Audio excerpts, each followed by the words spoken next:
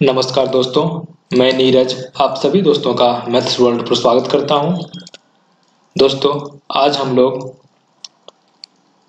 Lucent सामान्य विज्ञान का पार्ट टू पढ़ेंगे, जिसमें मात्रक एवं बीमा का पार्ट टू पढ़ेंगे। ठीक है दोस्तों? आज का सेशन बहुत ही इम्पोर्टेंट है, इसलिए वीडियो को अंत तक देखिएगा। और दोस्तों, आज हम लोग मात्रक एवं बीमा खत्म कर देंगे। तो आज के बाद आप लोग को मात्रक एवं बीमा के सारे क्वेश्चन सॉल्व होंगे। ठीक है दोस्तों, आज हम क्वेश्चन भी कराने वाले हैं। तो इसलिए वीडियो को अंत तक देखिएगा और अगर वीडियो पसंद आए तो लाइक और सब्सक्राइब ज़रूर कर लीजिएगा दोस्तों। तो स्टार्ट करते हैं आज का सेशन कल के सेशन में हम लोग मूल मात्रक के बारे में पढ़े थे। दोस्तों, मूल मात्रक कितना होता है? सात मूल मात्रक होते हैं। ठीक है? कितना मूल मात्रक होते हैं? सात मूल मात्रक होते हैं, ठीक है? कौन कौन था मूल मात्रक? लंबाई का क्या था? मीटर, द्रव्यमान का, किलोग्राम, समय का, सेकेंड। विद्युत धारा का मात्रक, एम्पियर, ताप का मात्रक कैल्विन ज्योति तीव्रता का कैंडेला, यानी सीडी और पदार्थ की मात्रा का मोल। ठीक है? ये सातों मात्रक हम लोगों ने पढ़ लिया था। ठीक है? आज हम लोग इसी सातों मात्रक की सहायता से किसी भी भौतिक राशि का मात्रक निकालना सीखेंगे। ठीक है दोस्तों? किसी भौतिक राशि का मात्रक याद करने का चीज़ नहीं है। अगर दोस्तों, अगर आप लोगों को किसी भी भौतिक राशि का फॉर्मूला याद है, जैसे वेग वेग का फॉर्मूला क्या होता है? वेग मतलब वेलोसिटी इसका फॉर्मूला होता है डिस्प्लेसमेंट बट्टा टाइम यानी विस्थापन बट्टा समय, वेग बराबर होता है विस्थापन बट्टा समय, यानी विस्थापन पर यूनिट टाइम यानी विस्थापन को हम लोग थीटा से डिनोट करते हैं और समय को टी से थीटा बट्टा टी ठीक है दोस्तों? तो विस्थापन भी क्या होता है दोस्तों? विस्थापन भी दूरी है। विस्थापन भी क्या है? दूरी है और नीचे समय है। ऊपर हो गया कितना? दूरी और नीचे क्या हो गया? समय ठीक है? तो दूरी का मात्रक क्या होता है? दूरी का ऐसा मात्रक, मीटर और समय का सेकेंड। तो इसका क्या हो गया मात्रक? मीटर बट्टा सेकेंड। तो सेकेंड अगर ऊपर जाएगा तो ये सेकेंड पर पावर माइनस वन हो जाएगा? तो मीटर इंटू सेकेंड पर पावर माइनस वन। ठीक है दोस्तों? किसी भी भौतिक राशि का अगर आपको फॉर्मूला पता है तो उसका मात्रक आराम से निकाल सकते हैं। ठीक है, जैसे त्वरण। त्वरण का क्या होता है? चेंज इन वेलोसिटी, यानी वेग में परिवर्तन बट्टा में समय। ठीक है दोस्तों, ऊपर क्या होता है? वेग में परिवर्तन, नीचे में समय। मतलब प्रति इकाई समय में जो वेग में परिवर्तन होता है, उसे क्या कहते हैं? त्वरण कहते हैं। ठीक है? तो वेग में परिवर्तन में तो वेग ही है। तो वेग का क्या होता है? हम लोग वेग का क्या निकाले थे? मीटर पर सेकंड पर माइनस वन यानी मीटर प्रति सेकंड, बट्टा में एक और सेकंड है। ठीक है? ये भी ऊपर जाएगा तो ये भी पावर माइनस वन हो जाएगा यानी मीटर प्रति सेकेंड पर पावर माइनस टू ठीक है दोस्तों, इसको हम लोग ऐसे भी लिख सकते हैं। इसका, अगर इसका फॉर्मूला मीटर प्रति सेकेंड है, और इसका क्या है? इसका भी एक और एक और सेकेंड नीचे में हो जाएगा गुना सेकेंड यानी मीटर प्रति सेकेंड स्क्वायर ठीक है दोस्तों, ये इसे भी लिखा जा सकता है। ठीक है, समझ में आया? अब बल का देखते हैं। तो बल का फॉर्मूला क्या होता है? एफ़ बराबर न्यूटन के सेकेंड लॉ से एफ़ बराबर एम ए ठीक है? एम ए तो यहाँ पर एम क्या है? द्रव्यमान और ए क्या है? त्वरण ठीक है? तो त्वरण का हम लोगों ने क्या निकाला था? द्रव्यमान का किलोग्राम होता है त्वरण का क्या होता है? त्वरण का जो हम लोग निकाले थे ये यानी किलोग्राम मीटर सेकेंड और माइनस टू यानी किलोग्राम मीटर प्रति सेकेंड स्क्वायर ठीक है दोस्तों? ये होता है कि, किसका? बल का। ठीक है? उसी तरह से संवेग संवेग पी बराबर क्या होता है? एम भी संवेग बराबर द्रव्यमान गुना वेग। और एम भी तो एम एम क्या है यहाँ पर? मास यानी द्रव्यमान। द्रव्यमान का क्या होता है? के जी क्योंकि दोस्तों, द्रव्यमान का कितना था हम लोगों का? मतलब मूल मात्रक के जी और वेग का क्या होता है? मीटर प्रति सेकेंड। के जी मीटर प्रति सेकेंड लिख सकते हैं। या इसी को के जी मीटर, सेकेंड पर माइनस वन। ठीक है दोस्तों, दोनों सेम चीज़ है। ठीक है, अब एक और क्या है? आवेग। आवेग का फॉर्मूला क्या होता है? एफ़ मतलब फोर्स आवेग का फॉर्मूला होता है, आवेग का फॉर्मूला एफ़ इंटू टी यानी आवेग बराबर होता है बल इंटू समय अंतराल, यानी फोर्स गुना टाइम इंटरवल ठीक है दोस्तों टाइम इंटरवल भी तो टाइम ही है, इसलिए फोर्स का क्या होता है? न्यूटन फोर्स का क्या होता है?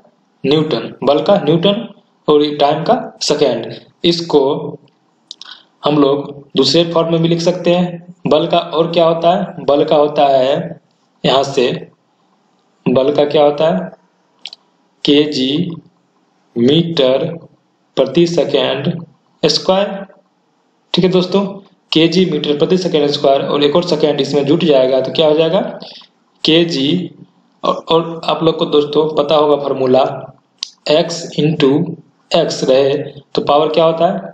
जुट जाता है तो एक्स पावर टू हो जाता है ठीक है? इस पर पावर एक इस पर पावर एक इसका पावर जुड़ जाता है ठीक है? उसी तरह से यहाँ पर सेकेंड यहाँ भी सेकेंड यहाँ भी है इस पर पावर माइनस टू इस पर पावर माइनस इस पर पावर वन है तो जुड़ जाएगा दोनों यानी K G metre second power minus one हो जाएगा, ठीक है? इसको हम लोग ये भी लिख सकते हैं, ठीक है? अब कार्य या ऊर्जा का मतलब क्या होता है? फोर्स इंटू डिस्टेंस W बराबर होता है F इंटू एस ठीक है? वर्क बराबर F इंटू एस यानी फोर्स का क्या होता है? न्यूटन और S का मीटर ठीक है? यानी न्यूटन मीटर इसको क्या लिख सकते हैं? जूल इसको क्या लिखते हैं हम लोग? कार्य ऊर्जा का मात्रक क्या होता है? ऐसा ही मात्रक जूल होता है। ठीक है? और बल का क्या होता है? न्यूटन होता है। ठीक है दोस्तों, याद रहेगा? बल का ये भी होता है, ये भी ऐसा ही मात्रक ही है और ये भी ऐसा ही मात्रक ही है। और उसी तरह से कार्य ऊर्जा का भी ऐसा मात्रक ये है और जूल। तो एग्ज़ाम में अगर आप लोग को कार्य ऊर्जा का ऐसा ही मात्रक पूछे तो क्या अगर जूल ऑप्शन में रहे तो जूल जूल टिक करेंगे और ये ऑप्शन में रहे तो ये टिक करेंगे। ठीक है दोस्तों? उसी तरह से बल का पूछे, न्यूटन रहेगा तो न्यूटन आंसर होगा और के जी मीटर प्रति सेकंड स्क्वायर रहेगा तो ये आंसर होगा। ठीक है? समझ में आया? आगे बढ़ते हैं। अब हम लोग देखते हैं दस के दस के विभिन्न घातों के प्रतीक के बारे में। ठीक है? दस का घात, जैसे दस का घात एक हो गया, दस का घात, दस का घात एक, दस का घात दो, उसी तरह से दस का अठारह तक का है, ठीक है दोस्तों? उसी तरह से नीचे माइनस अठारह तक है, ठीक है? अब दस का घात एक को क्या बोलते हैं? डेका। एक रहेगा पावर तो डेका, पावर दो रहेगा तो हेक्टो, और पावर तीन रहेगा, यानी एक हज़ार रहेगा तो क्या बोलेंगे? किलो। पता एक हज़ार ग्राम में कितना होता है? एक किलोग्राम, ठीक है? जैसे एक हज़ार ग्राम को क्या बोलते हैं? हज़ार जैसे ही आ गया, यानी दस पर पावर माइनस, दस पर पावर तीन ग्राम इसको करीब दस पर तीन ग्राम लिख सकते हैं। और जैसे ही दस पर तीन आ गया, इसको क्या लिख सकते हैं हम लोग? किलोग्राम, ठीक है? यानी दस पर पावर तीन रहे तो क्या बोलेंगे? किलो। और छ रहे तो मेगा। छ रहे तो मेगा और माइनस छ रहे तो माइक्रो। छ वाला को अब याद रखना है कि प्लस छ रहे तो मेगा और माइनस छ रहे तो माइक्रो। माइनस छ रहेगा तो माइक्रो क्योंकि माइक्रोस्कोप छोटा होता है, ठीक है दोस्तों? माइक्रोस्कोप छोटे छोटे चीज़ों को देखने के लिए यूज़ होता है। इसलिए दस पर माइनस छह रहे तो माइक्रो हो जाएगा और प्लस छह रहे तो मेगा हो जाएगा, ठीक है? उसी तरह से दस और पावर नौ हो तो गीगा मेगा के बाद गीगा मेगा फिर गीगा याद रहेगा? छह रहे तो मेगा नौ रहे तो गीगा और बारह रहे तो टेरा ठीक है? बारह रहे तो तेरह और पंद्रह रहे तो पेटा पंद्रह दोस्तों बहुत पूछता है, पंद्रह वाला भी भी आय है ठीक है? पंद्रह बहुत पूछता है, ठीक है? अठारह रहे तो एक्सा। याद करना है, कैसे याद करना है? ऐसे, डेका हेक्टो किलो मेगा। कैसे याद करना है? Deca hecto kilo mega, giga tera, peta exa. कैसे याद करना है? याद कर लेना है, deca hecto kilo mega, giga tera, peta exa. Deca hecto kilo mega giga tera peta exa और इधर याद रखना है, एक, दो, तीन, छह, नौ, बारह, पंद्रह, अठारह। ठीक है? तीन तक लगातार है, एक है, दो है, तीन है, उसके बाद तीन तीन गैप करके अठारह तक है, ठीक है?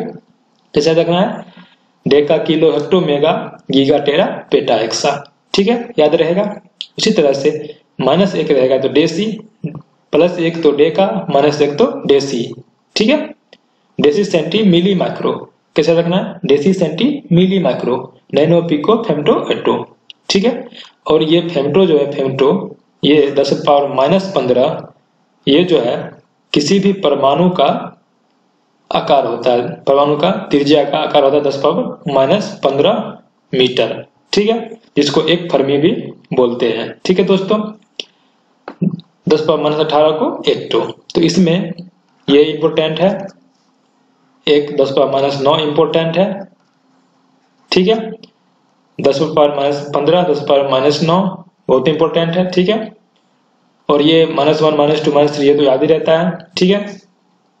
और इस पार इस पार जो है, दस पावर बारह इंपोर्टेंट है, ठीक है दोस्तों? और पंद्रह भी इंपोर्टेंट है। तो कैसे याद रखेंगे हम लोग? Deca hecto kilo mega giga tera penta exa ठीक है? उसी तरह से माइनस वाला में कैसे रहेगा? Deci centi milli micro, nano pico, fermi, atto. ठीक है? और एक और होता है, दस पर पावर माइनस दस, जो बहुत एग्ज़ाम में पूछता है, जिसको क्या बोलते हैं? एक ए प्रॉपर ज़ीरो लगा के बोलते हैं, इसको क्या नाम? है एंगेस्ट्रम एंगेस्ट्रम ठीक है? दस पर पावर माइनस दस को क्या बोलते हैं? एंगेस्ट्रम ठीक है, ये बहुत ही इंपॉर्टेंट है, इसको आप लोग नोट कर लीजिएगा। ठीक है? तो इसको कैसे याद रखना है? Deca hecto kilo mega giga tera penta exa, और माइनस में रहेगा तो deci centi milli micro nano pico fermi atto. ठीक है? आगे बढ़ते हैं। अब कुछ हम लोग बहुत ही महत्वपूर्ण मात्रक जो है, जो एग्ज़ाम में बहुत आता है, उसको देख लेते हैं। ठीक है? जैसे लंबाई का मात्रक मीटर होता है, ठीक है? उसी तरह से लंबाई का और भी मात्रक होता है। जैसे बहुत लंबी दूरी मापेंगे तो मीटर से तो नहीं काम चलेगा, ठीक है दोस्तों? इसलिए लंबाई का और भी बहुत मात्रक होता है। अत्यधिक लंबी अत्यधिक लंबी दूरी को मापने के लिए प्रयोग किए जाने वाले मात्रक है ये सब। खगोलीय इकाई खगोलीय इकाई एस्ट्रोनॉमिकल यूनिट ए यू ठीक है? खगोलीय इकाई क्या होती है? यह दूरी का मात्रक है। ठीक है? खगोलीय इकाई क्या है? दूरी का मात्रक है। सूर्य और पृथ्वी के बीच की माध्य दूरी मीन डिस्टेंस को क्या बोलते हैं? खगोलीय इकाई बोलते हैं। सूर्य और पृथ्वी के बीच की दूरी को क्या बोलते हैं? खगोलीय इकाई। ठीक है? और एक खगोलीय इकाई, यानी एक एस्ट्रोनॉमिकल यूनिट बराबर होता है। कितना metre? 1.495 point four nine five into ten to the power eleven metre एक दशमलव चार नौ पाँच गुना दस पर पावर ग्यारह मीटर, ठीक है? एक एयू बराबर होता है 1.495 गुना दस पर पावर माइनस दस पावर ग्यारह मीटर, ठीक है? सूर्य और पृथ्वी के बीच की दूरी है ये, ठीक है? और दूसरा नंबर पे है प्रकाश वर्ष लाइट ईयर। यह दूरी का मात्रक है। प्रकाश वर्ष क्या है? यह भी दूरी का मात्रक है। ये एग्ज़ाम में बहुत ही बार पूछा गया है, प्रकाश वर्ष किसका मात्रक है? तो दूरी का मात्रक है। ठीक है? ये बहुत ही इंपोर्टेंट है, प्रकाश वर्ष। ठीक है? एक प्रकाश वर्ष, एक प्रकाश वर्ष निर्वात में प्रकाश के द्वारा एक वर्ष में चली गई दूरी है। प्रकाश निर्वात में एक वर्ष में जितनी दूरी चलेगी, वो क्या है? एक प्रकाश वर्ष कहलाता है। ठीक है? प्रकाश जो है सो निर्वात में एक साल में जितनी दूरी चलेगी, वो क्या कहलाएगा? एक प्रकाश वर्ष कहलाएगा। ठीक है? जो कितनी होती है? 9.46 गुना दस पर पावर 15 मीटर के बराबर होती है। ठीक है?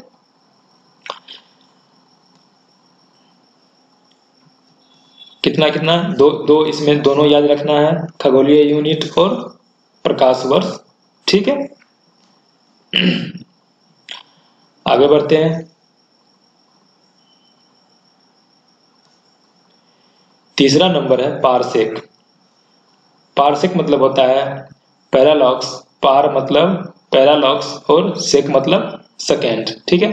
पैरालॉक्स कहीं कहीं पर पूछ देता है पारसेक का पुल फॉर्म, ठीक है? पारसेक मतलब होता है पार मतलब पैरालॉक्स और सेक मतलब सेकेंड तो पैरालॉक्स सेकेंड बोलते हैं इसको ठीक है? यह दूरी का माप दूरी मापने का मा, सबसे बड़ी इकाई है ठीक है? यह दूरी मापने की सबसे बड़ी इकाई है इससे बड़ी इकाई कुछ भी नहीं है ठीक है? तो एक पारसेक बराबर होता है three point zero eight into ten to the power sixteen metre एक पारसेक एक पारसेक बराबर होता है थ्री पॉइंट टू सिक्स प्रकाश वर्ष, ठीक है? लाइट ईयर ठीक है? एक पारसेक ये पार्सेक जो है, दूरी की सबसे लंबी इकाई है, दूरी सबसे बड़ी इकाई है, इससे बड़ी इकाई दूरी में कुछ भी नहीं होती है। पार्सेक दूरी की सबसे बड़ी इकाई क्या है? पार्सेक है। ये भी एग्ज़ाम में पूछता है कि दूरी की सबसे बड़ी इकाई क्या है? तो पार्सेक है। एक पार्सेक बराबर होता है three point two six light year, ठीक है? और ये थ्री पॉइंट टू सिक्स जो लाइट ईयर है, प्रकाश वर्ष है, ठीक है? इसको अगर हम एक लाइट ईयर से गुना कर दें, एक लाइट ईयर में कितना होता है? Nine point four six into ten to the power fifteen इस इस दोनों को अगर गुना कर देंगे तो ये कितना आ जाएगा? ये इसके बराबर आ जाएगा, ठीक है? थ्री पॉइंट ज़ीरो एट गुना दस पर पावर सोलह मीटर। ठीक है? तो आप लोग को यह भी याद रखना है कि एक पार सेक बराबर होता है three point two six light year ठीक है? प्रकाश वर्ष, ये भी बहुत ही इंपॉर्टेंट है। ठीक है? आगे बढ़ते हैं। लंबाई या दूरी के कुछ मात्रक देख लेते हैं। जैसे एक किलोमीटर में एक हज़ार मीटर होता है। हज़ार जैसे लग गया तो यहाँ पर क्या हो जाएगा? किलो। ठीक है, दस पर पावर तीन में क्या होता था? किलो, ठीक है? एक मील, ये बहुत ही इंपॉर्टेंट है। एक मील बहुत बार पूछा हुआ है, एक मील में कितना किलोमीटर होता है? एक मील में 1.6 किलोमीटर। एक मील में कितना किलोमीटर? 1.6 किलोमीटर। याद रख सकते हैं एक मील में, ठीक है? क्योंकि आगे का ज़्यादा इंपॉर्टेंट नहीं 1.6 ज़ीरो बहुत ही इंपॉर्टेंट है, ठीक है? और एक नाविक मील, एक नाविक मील में होता है 1.852 किलोमीटर। एक खगोलीय इकाई में कितना होता है? 1.495 point four nine five into ten to the power eleven metre और एक लाइट ईयर एक प्रकाश वर्ष में 9.46 पॉइंट फोर सिक्स गुना दस पावर पंद्रह मीटर और एक पार्सेक बराबर होता है 3.08 पॉइंट ज़ीरो एट गुना दस पावर सोलह मीटर उसी को 3.26 प्रकाश वर्ष भी बोलते हैं। ठीक है? अगर आप लोग को ये याद है, एक लाइट ईयर ये याद है और ये याद है तो आराम से हम लोग इसको निकाल सकते हैं, क्योंकि इसमें अगर इसको गुना कर देंगे तो ये आ जाएगा। ठीक है? तो इसको रटने का कोई ज़रूरत नहीं है। अगर आपको ये याद है, ये याद है तो ये निकल जाएगा। और ऐसे अगर ये याद याद रहेगा तो टाइम का बचत होगा। ठीक है? तो आगे बढ़ते हैं। अब हम लोग देखते हैं बीमा यानी डायमेंशन डायमेंशन फॉर्मूला कैसे निकालते हैं? बीमिया सूत्र, वो हम लोग सीखेंगे। ये भी टॉपिक बहुत ही इंपॉर्टेंट है। तो स्टार्ट करते हैं बीमा। यांत्रिकी में, यांत्रिकी यानी मैकेनिक्स मैकेनिक्स में लंबाई यानी लेंथ द्रव्यमान यानी मास व समय टाइम की मूल राशियों को प्रकट करने के लिए क्रमशः एल एम टी यानी लंबाई को एल मास को एम और टाइम को टी संकेतों का प्रयोग किया जाता है, ठीक है? यांत्रिकी यानी मैकेनिक्स में प्रयुक्त विभिन्न व्युत्पन्न राशियों को, यानी व्युत्पन्न राशियों मतलब व्युत्पन्न राशियों को एम की विभिन्न घातों के रूप में लिखा जाता है, जैसे क्षेत्रफल। क्षेत्रफल को क्या लिखते हैं लंबाई गुना लंबाई, यानी एल गुना एल यानी एल स्क्वायर तो दोस्तों, ये टू जो है टू इसको क्या बोलते हैं? डायमेंशन क्षेत्रफल का डायमेंशन कितना है? दो। आयतन। आयतन को क्या लिखते हैं लंबाई गुना चौड़ाई गुना ऊंचाई, यानी एल गुना एल गुना एल इसको क्या बोलते हैं? एल पर पावर तीन। तो तीन को क्या बोलते हैं? डायमेंशन आयतन का डायमेंशन कितना है? तीन है। ठीक है? यदि यदि किसी राशि के मूल मात्रक ज्ञात होने पर उस राशि की बीमाएँ लिखी जा सकती है, और मूल मात्रक कैसे ज्ञात होगा? जब तक कि उस राशि का फॉर्मूला ना ज्ञात हो, ठीक है? तो अगर किसी राशि का फॉर्मूला ज्ञात है फॉर्मूला पता है तो उसका मूल मात्रक लिख सकते हैं और अगर मूल मात्रक लिख सकते हैं तो उसका बीमा भी लिख सकते हैं, ठीक है? उसी तरह किसी राशि की बीमा ज्ञात होने पर उसका मूल मात्रक भी लिखा जा सकता है, ठीक है? क्षेत्रफल क्षेत्रफल का मूल मात्रक कितना है? Metre square. उसकी बीमा है एल स्क्वायर ठीक है? और क्षेत्रफल की बीमा एल स्क्वायर तो उसका मात्रक क्या हो जाएगा? मीटर स्क्वायर अगर बीमा ज्ञात है तो मीटर मात्रक निकाल सकते हैं मात्रक ज्ञात है तो बीमा निकाल सकते हैं। दोनों ज्ञात है तो दोनों निकाल सकते हैं, ठीक है?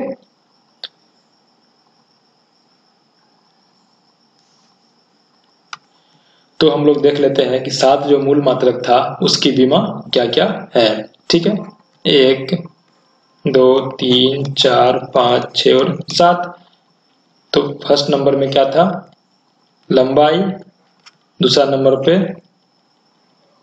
द्रव्यमान। तीसरा नंबर पे समय। चौथा नंबर पर विद्युत धारा।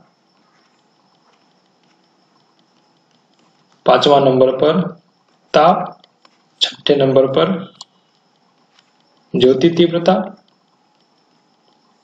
और सातवें नंबर पर, पदार्थ की मात्रा। ठीक है? लंबाई का क्या था? मीटर, द्रव्यमान का, किलोग्राम, समय का, सेकेंड विद्युत धारा का, एम्पियर, ताप का, कैलविन तीव्रता का कैंडेला, पदार्थ की मात्रा का क्या था? मोल। ये तो मात्रक था सबका। और ये बीमा। बीमा क्या होगा? मीटर को क्या होगा? मीटर को लिखते हैं एल से, ठीक है? किलोग्राम को एम से और समय को टी से, ठीक है? विद्युत धारा को आई से टेम्परेचर को थीटा से ज्योति तीव्रता को सी डी पदार्थ की मात्रा को मोल। ठीक है? तो हम लोग को ये याद रखना है कि लंबाई को एल से लिखते हैं, द्रव्यमान को एम से लिखते हैं, समय को टी से लिखते हैं विद्युत धारा को आई से, ताप को थीटा से और जो तीव्रता को कैंडेला से ही लिखते हैं, जो जो मात्रक था वही उसका बीमा भी होता है और पदार्थ की मात्रा का जो मात्रक है वही उसका बीमा भी होता है। ठीक है? तो अपने को इतना ही याद रखना है सातों का और इसी सातों से सारे बीमा, सारी बीमाएँ निकाली जा सकती है। ठीक है? तो आगे बढ़ते हैं। जैसे कुछ भौतिक राशियाँ हैं, जिसकी बीमाएँ हम लोग देखेंगे। ठीक है? क्षेत्रफल का क्या होता है? लंबाई गुना चौड़ाई। क्षेत्रफल क्या होता है? लंबाई गुना चौड़ाई, यानी मीटर गुना मीटर, यानी मीटर स्क्वायर और लंबाई, चौड़ाई दोनों लंबाई ही है। लंबाई का क्या होता है? एल चौड़ाई का भी एल तो क्या हो जाएगा? एल गुना एल और बीमा को क्या करते हैं दोस्तों हम लोग? बड़ी ब्रैकेट में घेर देते हैं। तो बड़ी ब्रैकेट घेर के एल टू हो जाएगा। ठीक है? बीमा को हमेशा बड़ी ब्रैकेट में घेरते हैं। ठीक है? आयतन का क्या होता है? लंबाई गुना चौड़ाई गुना ऊंचाई एल गुना बी गुना एच यानी मीटर क्यू लंबाई भी लंबाई ही है, चौड़ाई भी तो लंबाई ही है, और ऊंचाई भी क्या है? लंबाई ही है यानी मीटर गुना मीटर गुना मीटर मीटर क्यू उसी को एल गुना एल गुना एल लिख सकते हैं। बराबर एल पर पावर तीन को बड़ी ब्रैकेट में घेर देंगे, ठीक है? घनत्व तो क्या होता है? घनत्व बड़ा होता है द्रव्यमान बट्टा आयतन, ठीक है? द्रव्यमान का क्या होता है? द्रव्यमान का होता है के और आयतन का क्या होता है? मीटर क्यू अभी निकाले थे। और ये मीटर क्यू ऊपर जाएगा तो क्या हो जाएगा? के जी इसको इसको क्या पढ़ते हैं? के जी प्रति मीटर क्यू और इसको भी क्या पढ़ते हैं? मीटर ऊपर जाएगा तो माइनस तीन हो जाएगा के जी प्रति मीटर क्यू इसको भी बोलते हैं। अब के जी के जी का क्या होता है? द्रव्यमान है। द्रव्यमान का एम और मीटर क्यू यानी एल क्यू तो एल पर पावर माइनस तीन हो जाएगा, क्योंकि मीटर पावर माइनस तीन है। इसको भी बड़ी ब्रैकेट में घेर देंगे। उसी तरह से अगर, उसी तरह से अगर हम लोग को फॉर्मूला याद है, किसी भी भौतिक राशि का अगर फॉर्मूला पता है तो उसका मात्रक और बीमा आसानी से निकाल सकते हैं। ठीक है? क्वेश्चन में क्या कह रहा है? गुरुत्वाकर्षण गुरुत्वाकर्षण नियतांक, जी की बीमा क्या होगी? तो अगर हम लोग को फॉर्मूला पता है कि गुरुत्वाकर्षण बल का फॉर्मूला क्या होता है एफ़ बराबर G M M M one M two बट्टा में आर स्क्वायर ये फॉर्मूला होता है गुरुत्वाकर्षण बल का फॉर्मूला अगर हम लोग को ये पता है तो आराम से इसका बीमा निकाल सकते हैं। इस जी का बीमा आराम से निकाल सकते हैं। तो अगर हम लोग बट्टा एक है अगर हम लोग इधर अर्थ गुना करें तो क्या हो जाएगा? G M one M two बराबर एफ़ आर स्क्वायर ठीक है? और यहाँ से जी बराबर क्या हो जाएगा? एफ़ आर स्क्वायर बट्टा M one into M two ठीक है? और एफ़ का क्या होता है? एफ़ का न्यूटन मीटर स्क्वायर बट्टा में ये भी द्रव्यमान है, ये भी द्रव्यमान है केजी गुना केजी केजी स्क्वायर। ठीक है? अब न्यूटन। न्यूटन का क्या होता है? एफ़ बराबर M A M A M मतलब द्रव्यमान, फिर तो के जी ठीक है? ये न्यूटन एफ़ बराबर क्या होता है? एम ए इसको क्या लिखते हैं? एम ए ठीक है? तभी तो एफ़ एफ़ बराबर क्या होता है? एम ए ठीक है? एम का मतलब के जी ए का मतलब मीटर प्रति सेकंड स्क्वायर मीटर सेकेंड पर पावर माइनस टू गुना मीटर स्क्वायर बट्टा में क्या? के जी स्क्वायर के जी एक के जी से एक के जी कट गया। तो ऊपर में क्या बचा? मीटर मीटर और क्या बचा? के जी ऊपर जाएगा तो माइनस वन और मीटर का क्यू हो जाएगा, ठीक है? एक एक मीटर यहाँ है, दो मीटर यहाँ है तो मीटर का क्यू के जी एक ऊपर जाएगा माइनस वन और सेकेंड पर पावर माइनस टू तो यहाँ से क्या हो जाएगा? किलोग्राम को क्या लिखते हैं? यानी द्रव्यमान क्या लिखते हैं? एम और एल मीटर को एल पर पावर तीन और टी पर पावर माइनस टू यानी एम पर पावर वन एल पर पावर थ्री और टी पर पावर माइनस टू तो अगर फॉर्मूला याद है तो उसका बीमा आराम से हम लोग निकाल सकते हैं। ठीक है? और गुरुत्वीय त्वरण। त्वरण का मात्रा क्या होता है? Metre second power minus two यानी मीटर का के जी और सेकेंड पर power minus two sorry metre मतलब एल एल टी पर पावर माइनस टू ठीक है? और इस, इसको कहीं कहीं पर मिल जाएगा। M power zero L power T पर पावर माइनस टू ज़ीरो किसी पावर ज़ीरो वन होता है, इसलिए इसको हम लोग लिख देते हैं।